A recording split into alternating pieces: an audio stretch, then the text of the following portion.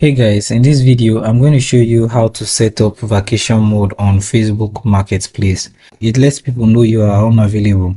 Buyers won't be able to place order or start new conversation with you. If you have pending orders that need to be fulfilled, turning on vacation mode does not cancel or pause this order.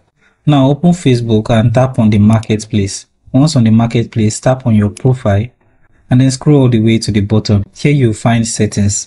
Tap on settings and under manage settings you will find vacation mode.